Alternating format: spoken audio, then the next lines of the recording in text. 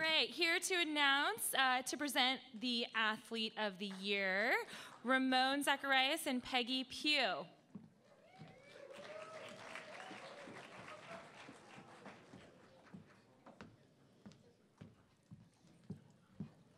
And a few of my closest friends. Come on up, Aptos High. My name is Peggy Pugh, and I am the proud principal of Aptos High School.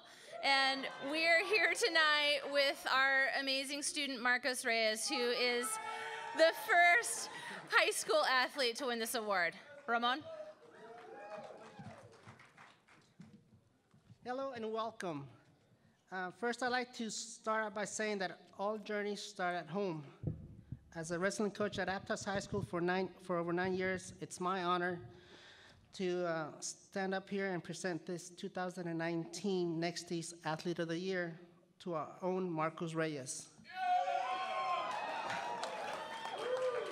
Marcos's, pres- Marcos's presence on the football team and on the mat was definitely felt throughout the season. As a league champion in wrestling and third in our CCS and a state qualifier, he proved that he belongs to be recognized as one of the best wrestlers in the state.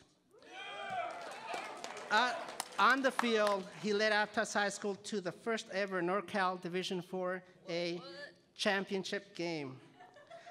According to the Santa Cruz Sentinel, on the, on the field, he had 3,585 yards in a season in his career, 1,835 running yards in a season, 292 rushing yards in a game, 218 points in a season, and 35 touchdowns. Uh, all of which, by the way, are school records. Those are big numbers.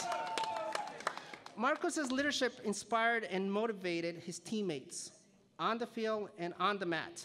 As we put it, the team listened to Marcos, and Marcos listened to the team. In conclusion, it is our honor to present this year's first under 18 years old 2019 NEXTies Athlete of the Year to number six, Mr. Marcos Reyes.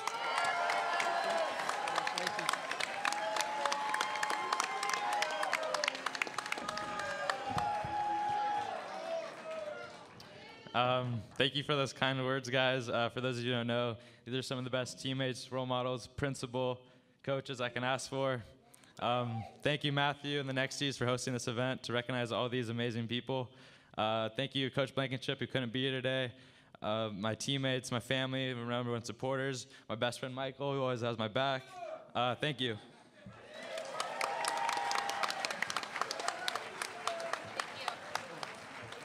If you